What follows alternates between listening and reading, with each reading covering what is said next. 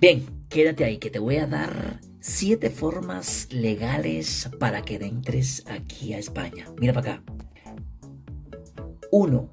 Visado de estudiante. Sí, si tú te consigues un visado de estudiante, es decir, que vas a estudiar en España, puedes entrar tranquilamente siempre y cuando no, no tengas ningún delito en tu país. ¿Vale?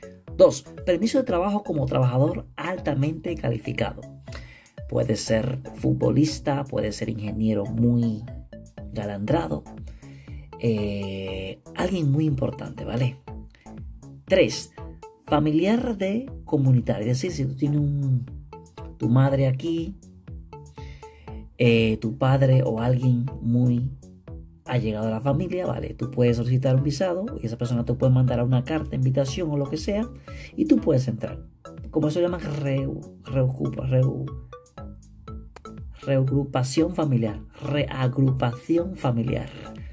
Número 4. Visado de emprendedor. Es decir, si tú tienes, digamos, X cantidad de dinero, digamos, tienes 500 mil euros, ¿verdad? O un millón de euros, o no sé cuánta, qué cantidad más o menos, tú puedes decir, tú puedes aplicar como, bueno, aplicar para venir a trabajar a España. Es decir, vienes para acá a emprender, vienes para acá a abrir un negocio, eh, ya sea un negocio online, etcétera, etcétera. También hay otra fórmula que es muy buena, que es los nómadas nómada digitales, creo que le dan un permiso para estar aquí por X tiempo y poco a poco, poco a poco ya tú vas a ir arreglando tu situación en España, tu situación, tu situación migratoria.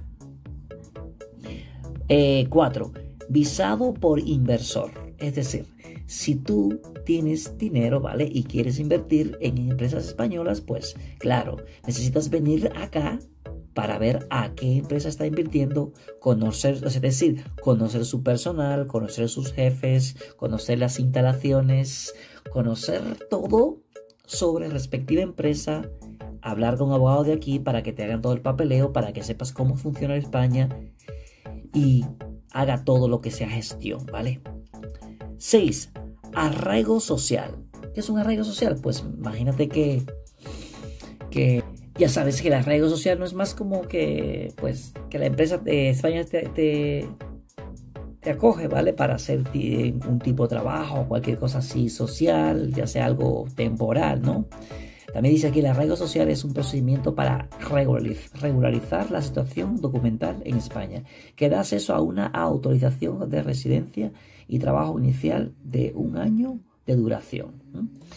Vamos con el siguiente que es visado para el, para el teletrabajo. Por ejemplo, eso fue lo que te dije anteriormente, que si tú tienes un trabajo que es como nómada digital, tú puedes venir aquí a vivir, ¿vale? Tú solicitas tu, en tu embajada para trabajar como nómada eh, digital y puedes pagar, y puedes pagar tus impuestos aquí, ¿vale? Eso es tendrías que mostrar papeles, mostrar facturas, mostrar que tienes eh, pues X cantidad de dinero para estar aquí, para que no, sea, seas una carga para el gobierno de aquí de España, ¿vale?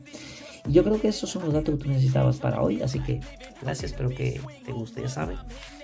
Ya con Chao.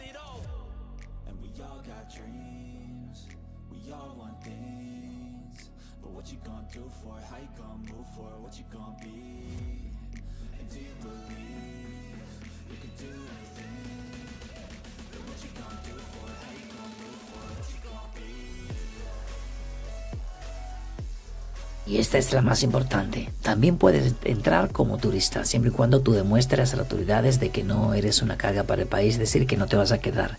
Compres tu vuelo de ida y de vuelta, no tengas ningún derecho en tu país, etcétera, etcétera. Es decir, tiene que apostar también por esa parte.